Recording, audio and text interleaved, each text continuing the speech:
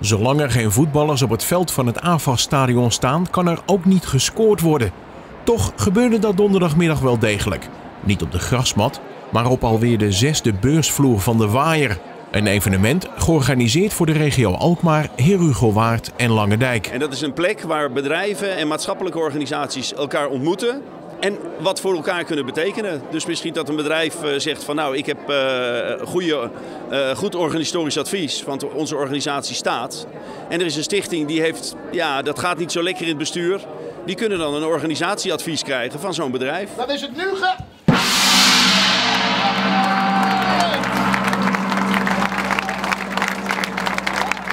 wat ik geweldig vind, het is net begonnen, maar ik vind het leuk om tussen al deze mensen te staan met hun ideeën en hun wilde plannen en dat ze daar hulp voor krijgen vanuit het veld. Dat vind ik heel erg goed. Toen we 13 jaar geleden begonnen was het idee van wat we zien is dat de samenleving individualiseert en globaliseert. Dus we raken dat sociale contact een beetje kwijt.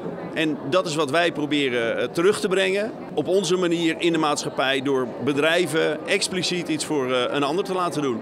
Wij zijn dan eh, bij een basisschool een miniboerderij. Een van, zover wij weten, een van de weinigen in Nederland.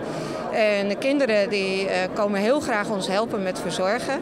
Maar die komen dan in hun mooie kleren. En dan willen wij heel graag een overal daarvoor hebben.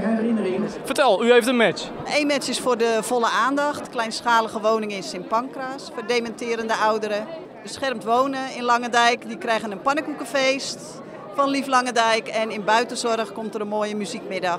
Nou ja, hier zijn we om dus zoveel mogelijk matches te maken, mensen te helpen om iets tot stand te brengen. En ja, die komen bij ons langs om te vragen van ja, wij hebben dit en dit. Nou, dat past binnen onze doelstellingen, dus dan maken we de match.